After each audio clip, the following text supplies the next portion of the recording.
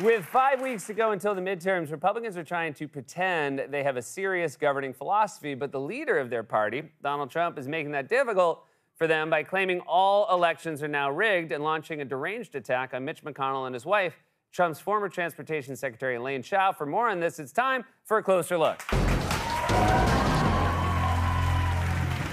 Even if you're someone who follows politics very closely, you'd be hard pressed to name a single Republican policy idea, aside from cutting rich people's taxes or banning abortions or passing a law that says it's illegal to win an election if your name is not Donald Trump. Senior! Don't try to sneak in on a technicality. Which is why Republicans are now trying to at least create the appearance that they have a plan to tackle the issues people care about by debuting what they're calling a commitment to America.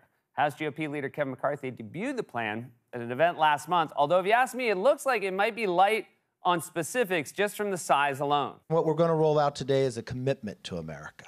And we want to roll it out to you, to the entire country, to know exactly what we will do if you would trust us and give the, us the ability to take a new direction for this country.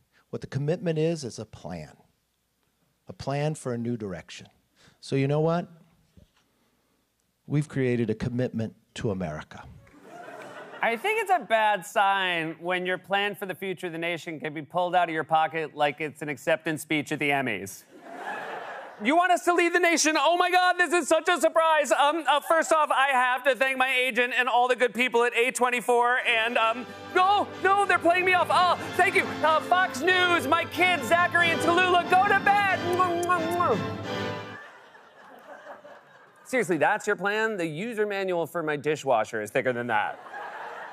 But I guess we can't be shocked that GOP's plan to fix America is the size of a poster stapled to a telephone pole that says free guitar lessons when the guy who came up with it is the same guy who once said this at a Trump rally in 2020. I want you to watch Nancy Pelosi hand me that gavel. And I promise you this I won't bang her with it, but I'll bang the end to the socialism and yes to America. I'll bang the end to the socialism and yes to America. That sounds like a Mad Lib filled out after a concussion. Did somebody bang you with a gavel? Seriously, what does that mean? That's like something you'd see on a bootleg MAGA hat you bought online from a foreign country. Also, it's funny that whenever these guys screw up, they think they can save it just by saying yes to America at the end. Like it's the equivalent of saying San Dimas high school football rules. It's an 80s reference for old people. You know what that siren means? If you got that joke, it's time to schedule your prostate exam. Because putting your health first is always. Excellent! And waiting until too late is. Bogus. Anyway. The GOP's commitment to America has been so underwhelming that even Fox News has been questioning why it's so thin. The number three House Republican, Elise Stefanik, was asked that question on Fox recently, and unsurprisingly, she did not have a very good answer. Let's start with this description by New York Magazine. It says the document has lots of bells and whistles and factoids about the hellish reign of Joe Biden and his Democrat Party. What it doesn't have is a whole lot of specificity. You heard that from the president, from other Democrats too, who say there are a lot of slogans. Yes, everybody wants a safe country. They want good education. They want crime to go down. But it's the details of how you do that that matter. So why not more details in this plan? Shannon, there are ample details. So, number one, an economy that's strong. Son of a gun, that is a good idea. Do they honestly expect voters sitting at home watching to hear that and think, hmm, strong economy? I like the sound of that. It's like one of those commercials where someone at a kitchen table responds to a bodiless voice asking questions about making your life better without ever giving any answers as to how. Would you like to make more money? Yes. Would you like to do it from the comfort of your own home? Sure. Do you want a bigger house, a nicer car? I do. Would you like to improve your marriage and spice up your sex life? Um, uh, definitely. Would you like to learn more? Uh, yes, please. Then call 1 800 155 uh.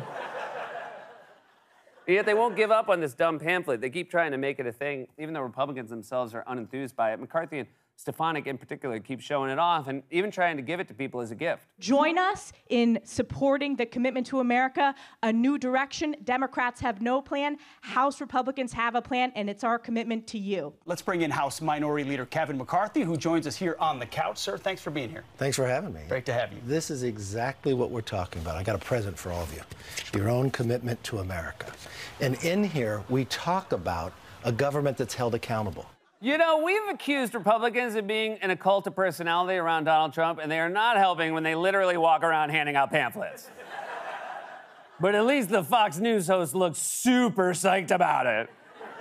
That's the way your kid looks when they're expecting a PS5 for Christmas. Instead, you give them a New York City t shirt you definitely bought at the airport. In fact, I'm pretty sure at the same time Joe Biden was on Morning Joe giving each of the hosts there their own PS5s. Which makes sense. He's so desperate to win back young voters, I wouldn't be surprised if he made a cameo in season three of Euphoria. Come on, guys! Let's stop with all the sex and drugs and take the Amtrak down to the swimming hole for some good old fashioned fun. Oh, you know what that siren means? A modern reference for young people. We did one for the olds and now one for you guys. We are shamelessly pandering to win over Gen Z. And hey, youngs, psst, over here. I know I reference old movies, but I like cool stuff. Fezco and Rue, that's my Bill and Ted. And if you love young stuff, you'll love Late Night with Seth Meyers' hot new segment, A Closer Look. That music is way too loud!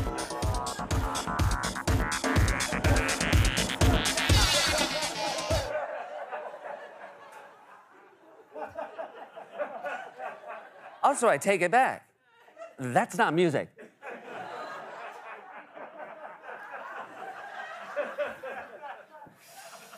Anyway, there's a reason this dumb new pamphlet is so flimsy and why even GOP cheerleaders on Fox News are so unenthusiastic about it. And that's because the GOP doesn't actually have a discernible policy agenda or a serious governing philosophy. It's just a coalition held together by resentment and paranoia and conspiracy theories and culture war issues. And above all else, a hostility to democracy that is still best embodied by their leader and People magazine's sweatiest man alive for six years running.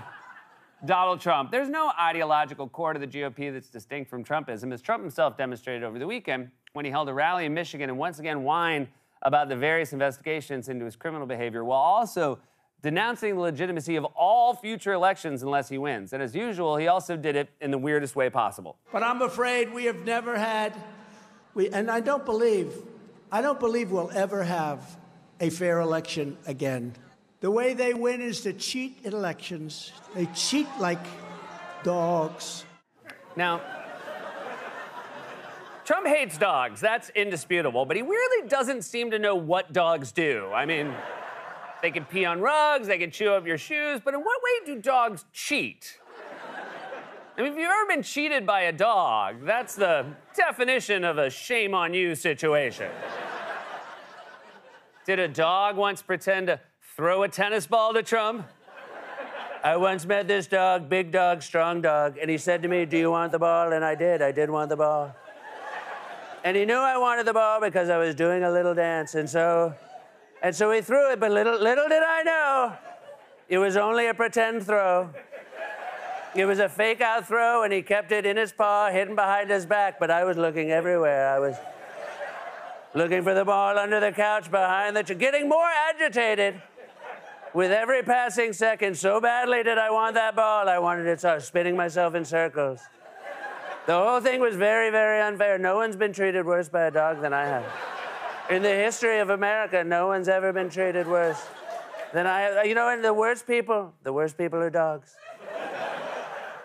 So now, instead of just claiming the 2020 presidential election was rigged against him, Trump is going a step further and claiming in advance that all elections are rigged. We can't have a functioning democracy where one side just insists that every time they lose, it's illegitimate and that they're the only ones entitled to hold power. I mean, you don't see Mets fans insisting they actually won the division after getting swept by the Braves this week, and they're accepting defeat the way they always have by being absolutely miserable, you know?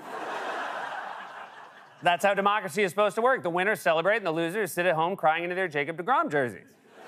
And by the way, lest you think I'm picking on the Mets, I'm a Steelers fan, and we lost to the Jets this weekend. Yeah, the Jet, those Jets. I went to the game, and you know what the worst part about flying from New York to Pittsburgh to watch your beloved Steelers lose is? Flying home on a plane full of Jets fans all drinking and partying like they just won the Super Bowl. And hey, I get it. If you're a Jets fan, being two and two in October, that's your Super Bowl. Enjoy it while it lasts. Traffic was so bad today with the parade on Fifth Avenue.